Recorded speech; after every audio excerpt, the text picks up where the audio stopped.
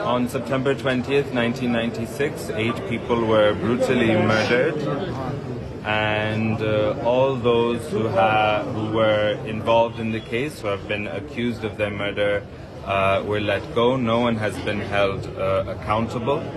Um, how is it possible that eight people were murdered and that no one has been um, held uh, accountable? We are here today um, uh, to fight for justice, not only of for my father, but also for uh, many other fathers, sons, brothers who were murdered that night.